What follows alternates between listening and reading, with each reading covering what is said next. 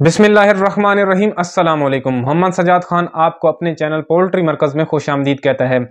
दोस्तों, आज की वीडियो के अंदर हम ये डिस्कस करने वाले हैं कि अगर आपके मुर्गे, आप आप जाते हैं खुडों के अंदर जाते हैं तो मुर्गा सुबह आप देखते हैं कि वो उदास खड़ा हुआ है।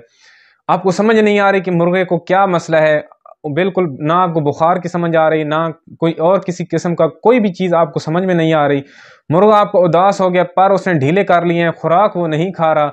इस सूरत में आप क्या उसका इलाज कर सकते हैं? इलाज मुख्तलिफ़ किस्म के होते हैं, लेकिन जो अभी मैं आपके आपको बताने वाला हूँ, ये एक बेहतरीन किस्म का इलाज है। इंजेक्शन का नाम बताऊँगा, वो वाला इंजेक्शन आप लगाएँ इन आपके मुर्गा बिल्कुल तंदुरुस्त हो जाएगा।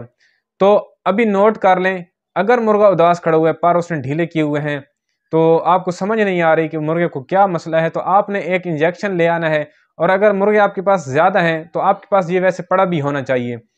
लिंकोस्पायरा, ठीक है? इंजेक्शन का नाम है लिंकोस्पायरा। ये लिंकोमाइसिन और स्पायरामाइसिन, इन दोनों का कम्बिनेशन है, ठीक है? तो ये आपने तीन पॉइंट एक सीसी वाली जो सरेंज होती है, उसके ऊपर एक सीसी वाली आपने सरेंज लेके आनी है मेडिकल स्टोर से, जिसके ऊपर आगे से सुई उतर जाती है, वो वाली सरेंज आपने लेकर आनी है।